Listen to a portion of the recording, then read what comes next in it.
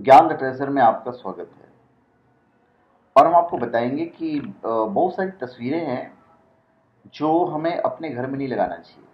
उससे गरीबी और दुर्भाग्य आता है। कई लोगों को अपने घर और दुकान में सुंदर तस्वीरें लगाने का शौक होता है। लेकिन वास्तु के अनुसार सभी प्रकार की तस्वीरें घर में या दुकान में नहीं लगानी चाहिए।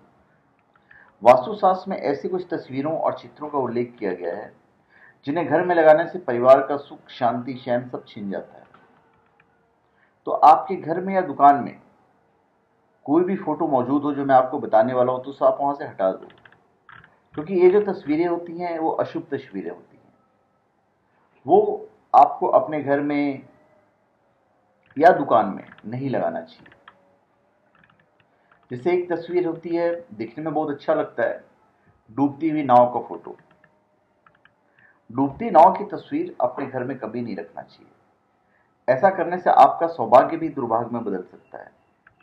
साथ ही ध्यान रखें कि ऐसी कोई भी तस्वीर अगर आपके किसी जानकार के घर में भी है तो उसे तुरंत हटवा दें। क्योंकि ऐसी जो तस्वीर होती हैं, वो रिश्तों पर भी असर डालती है। आप नहीं हटवाओगे, पर ऑटोमेटिक होता है कि आपके रिश्ते हो सकता है, खराब होते चले जाए। क्योंकि वो उसका वास्तु दोष है, आपका वास्तु दोष नहीं, आपकी कोई गलती नहीं। आजकल मॉडर्न आर्ट है, लोग कुछ भी बना देते हैं। तो कई अजीब तरह के फ़ोटो का चलन है। कई लोग घर में रोते हुए बच्चों की फ़ोटो सजाई जाती है। तो इस तरह का फ़ोटो घर या दुकान में लगाना बहुत अशुभ माना जाता है। बच्चे जो होते हैं, बच्चों को सौभाग्य प्रतीक माना जाता है।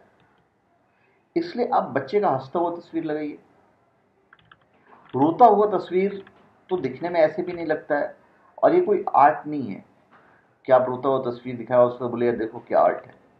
वो आपका वास्तुदोष खराब करता है। फिर है महाभारत का फ़ोटो। महाभारत हिंदू धर्म का सबसे बड़ा ग्रंथ है, इसमें कोई शक नहीं इसलिए इसे पूजनीय माना जाता है, गीता को पूजनीय माना जाता है। पूजनीय होने पर भी इस ग्रंथ को घर में रखना शुभ माना जाता है। क्योंकि महाभारत पारिवारिक झगड़े और क्लेश की कहानी है।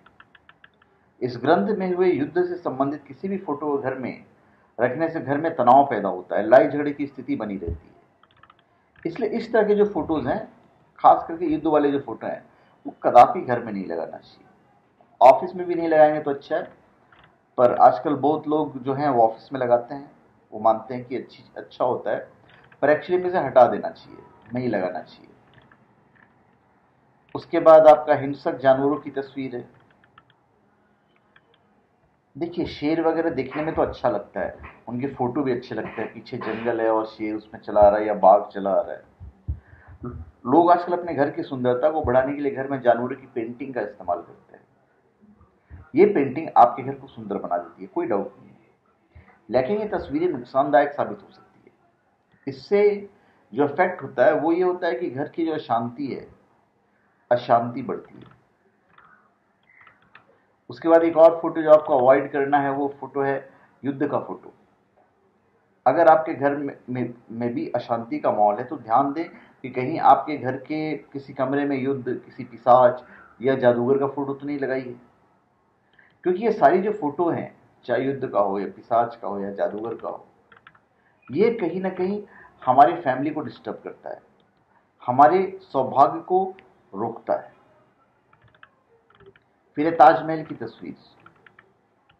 ताजमहल देखिए सुंदर है और सुंदर होने के साथ साथ मुमताज़ की कब्रगाह भी है। इसलिए तस्वीर या शोपीस सटने से नेगेटिविटी फैलती है। वो मौत से जुड़ा हुआ है। इसलिए इसे घर में नहीं रखें। और एक चीज़ और ख्याल रखिएगा, आप इसको गिफ्ट भी मत दीजिएगा किसी को। तो धन्यवाद, आप हमारे चैनल पर सब्सक्राइब करें और अपने कमेंट दीजिए। धन्यवाद।